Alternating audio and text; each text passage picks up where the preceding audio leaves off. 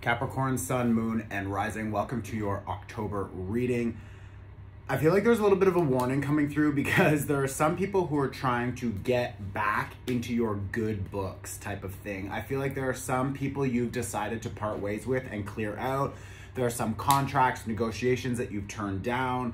There are some people who want something from you. I also feel like this can be related to love or old friends who they want to try something again. They want to reconnect, but you, it's like your intuition is telling you, like, uh, I don't know if this person has actually changed. And I want to say that this person or this boss or whatever, I don't know how this connection is showing up, but it feels like you already decided to let go and they are trying to figure out how to reconnect and they're making all these promises, but I don't know if they can actually keep them. I want to say they can't because energetically, it's like their ego has maybe understood something, but it's not fully embodied. So they can't or haven't actually applied all of that learning or they need more time to actually learn how to navigate something and then later can apply it but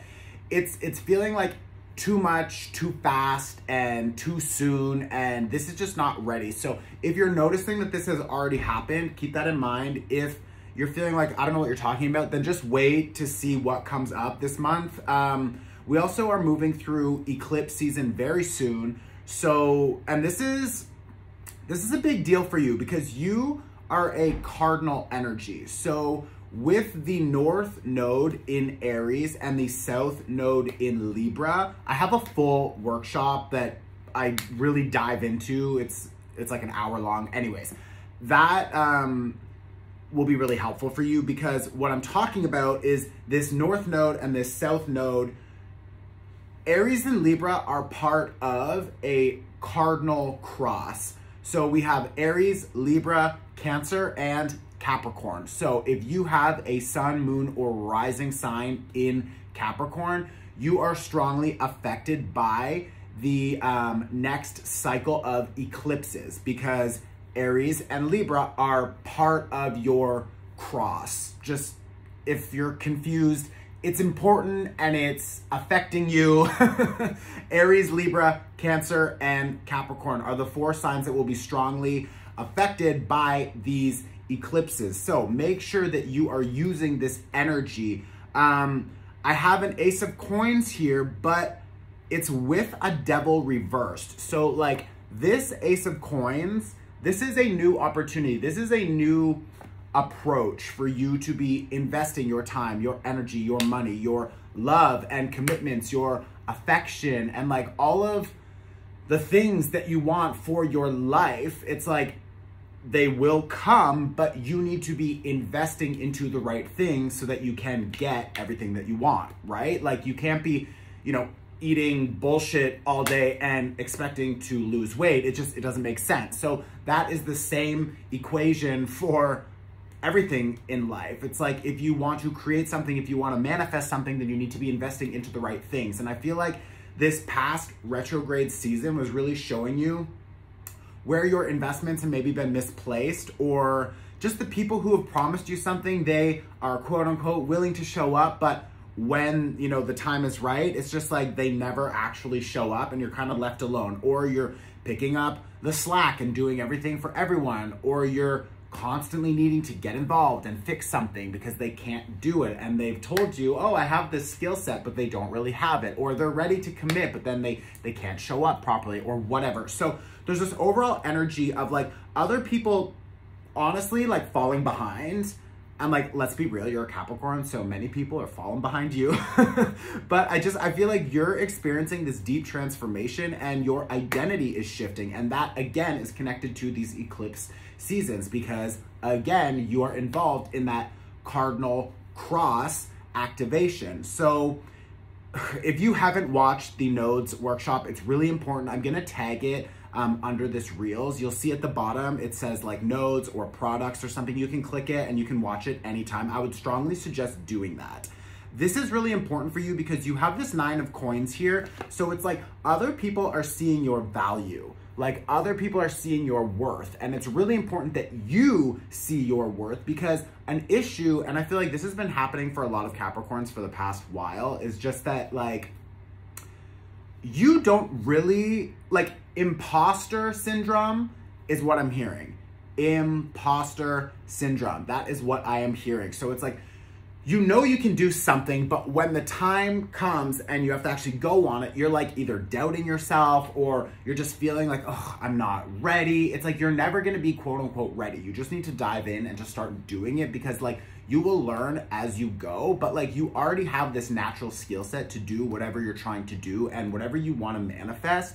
Like that is being communicated by the universe to you because the universe wants you to do it. But you and your ego, your fears, your mind, they're getting in the way of the process. It's like you can't move forward because your mind continues to block you or to play tricks on you. Maybe it's other people, their perspective of you. Maybe it's your parents. Maybe it's just society. Maybe it's a projection of another person. Like you want to move to a new country. You want to establish your own business and other people, they really want to do something similar, but like they're too scared, so then they project onto you, oh, that will never work, or I can't believe you would do that, or are you sure you're gonna give up everything to change your life? It's like, yes, bitch, that's exactly what I wanna do. And the more I hang out with you and you cast all your doubts onto me, the more confused I get. So it's just like, you need to really trust yourself. And this eclipse season is going to be showing you how you are required to now stand in your power we also just had a full moon in Aries, which affects all of us. And Aries, again, is a cardinal energy. So that um, cardinal cross is very activated for you. So you will be feeling more sort of inlined, um, empowered, feeling more confident, but that can be sort of fleeting. So it's like, you need to really believe that. You need to start an everyday practice or behaviors that continue to make you feel more confident in yourself and allow you to take control because you have these beautiful opportunities coming with that ace of coins but i feel like there's something about yourself where you're not really allowing yourself to stand in your power and to make the final decision for yourself you're allowing other people to maybe take over and decide for you or their energies are confusing you or whatever so again other people are seeing your value, other people are seeing your worth, and they can see it almost like more than you can see it. It's like some of you need to be practicing some mirror work or um, affirmations every day. Um, I also feel like there's an opportunity for you to just dive deeper into like really clear out some of this old bullshit.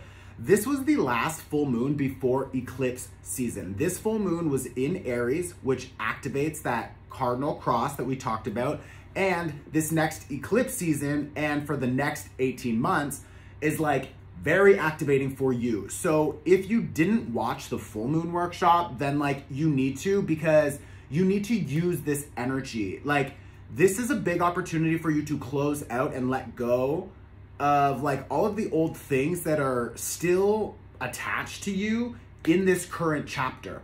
After eclipse season, the chapter closes and a new chapter opens. So if you haven't cleared out or at least set the intention to let go, drop, sacrifice all of these old things, then like you're gonna carry them into the next chapter, which means you're gonna have to be dealing with all of these things for the next six months again. So it's like, you want to be using this energy. You can watch that workshop anytime. The link is in my bio. It's a free workshop. It's the full moon workshop. It's donation based. You can like pay whatever you want. Like I don't care. Just watch it because like you really need to see yourself in a new light. You need to see yourself from like the perspective of other people who really value you. And you have these new collaborations these new ideas. I'm also feeling like reconnecting with people from the past. Um, this Three of Cups is coming through, but like you need to be very clear about what your intention is with these people if you are letting them back into your life or if you are reconnecting um yeah again with like old projects. Like why what do you want to do with that you know, outcome? Like, what is the goal for that connection? Don't just be like spending your time, spending your money, spending your energy just to like dilly dally and like kind of, oh, you know, I'll just do it because it's there. Like, no, like you need to get really intentional about what you want to be doing because there are some people here and again, you really need to trust yourself. There are some people here, like I have this page of swords and this seven of swords, which like I don't like. I also have this king of swords reverse and it's like with a five of cups reverse and a six of swords reverse. So like there are some people who feel you disconnecting and they want to remain connected. They want to take control of this situation and they don't want to let you leave. But like these people don't have your best um, interest in their mind. Like these people are either greedy or there's someone from a distance I'm also hearing who's like watching you and don't be like freaked out. I just mean like probably on your social media or uh, whatever, but it's just like people are trying to figure out how they can reconnect with you or how they can approach you to offer you something that will benefit them. And I think they know that you have already leveled up and sort of moved on and they're falling behind and getting desperate and they don't know what to do. So now they're going to be trying to like convince you to either like connect with them or like take them back or whatever. It's just like you really need to be following your gut right now with this hermit card and this high priestess reverse is like don't ignore your intuition. If you know something feels off, it's because it's off, okay? So like trust that. With this Queen of Wands reverse, don't act and go for it just because you're gonna go for it. It's like, no, like you need to really be thinking about how you wanna be spending your time, energy, and money moving forward, okay? Again, we are breaking old habits. Devil reverse, Hierophant reverse. It's like these old toxic cycles, people, projects, things that drain us, we are breaking free and letting them go, but we can't do that if we don't actually set the intention for it, okay? So if you want support, if you want to receive an energy clearing, you can watch my full moon workshop. It's like under 30 minutes. It's a home video. You can watch it anytime. The link is on my bio, okay?